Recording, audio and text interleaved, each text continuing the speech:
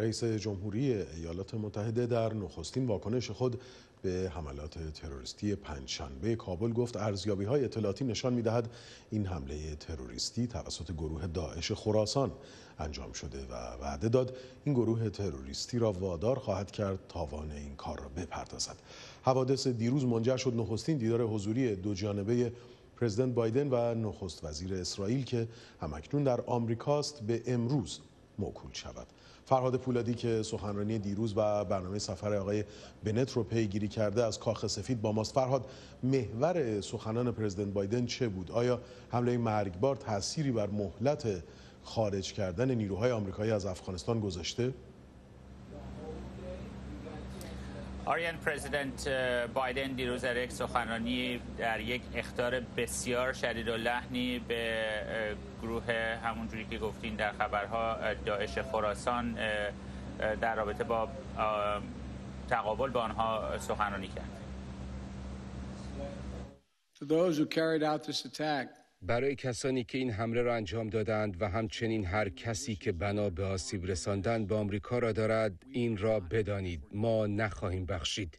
ما فراموش نخواهیم کرد. دنبال شما خواهیم آمد و وادارتان خواهیم کرد که هزینه آن را بپردازید.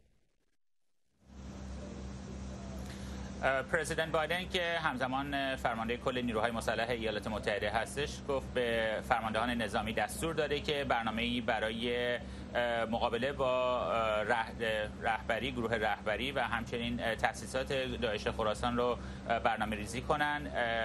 پرزیدنت بایدن همچنین گفتش که برنامه خارج کردن شهروندان آمریکایی و افغانستانی های همیار کماکان طبق برنامه انجام میشه و با اون مهلتی که از پیش اعلام کرده یعنی 31 اوت نهم شهریور پایبنده تا کنون هم باید بگم که کاخ سفید گفته که نزدیک به 106 هزار از این افراد رو خارج کرده.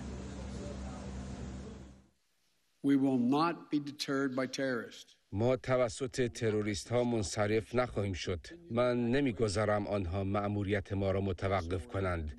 ما خارج کردن افراد را ادامه می دهیم من همچنین به فرماندهانم دستور دادم تا برنامه های عملیاتی برای ضربه زدن به تأسیسات و رهبری داعش خراسان را تدوین کنند.